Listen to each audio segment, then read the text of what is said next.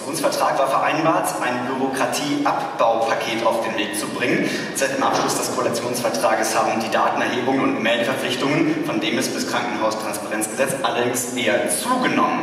Wann beginnen Sie, ein Bürokratieabbauprojekt zu schnüren? Also wir haben die Bürokratieabbaumaßnahmen zum einen in die, in die, Gesetze hineingebracht, wo sie schon vorab gemacht werden können, um nicht Zeit zu verlieren.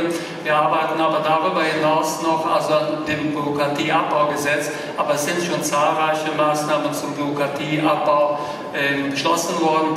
Ähm, und im Krankenhaussektor, der hier äh, spezifisch angesprochen wurde, ist es zum Beispiel so, äh, äh, diese Transparenz, die jetzt geschaffen wird, dafür werden die Qualitätsberichte ähm, in ihrer Bedeutung deutlich zurückgenommen. Die werden wahrscheinlich mittelfristig entfallen.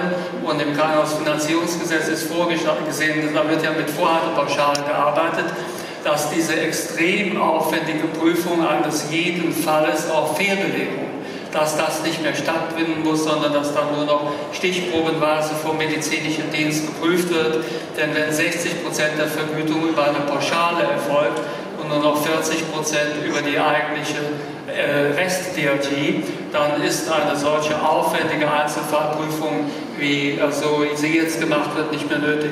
Auch in den Praxen, also entbürokratisieren wir. Wir werden zum Beispiel den Arzneimittelregress weitestgehend abschaffen. Das ist auch eine sehr bürokratische Prüfung der einzelnen Praxis, nicht beliebt bei den Kolleginnen und Kollegen. Das wird fallen. Es wird zahlreiche andere Beispiele geben. Alles klar, Frau Professor.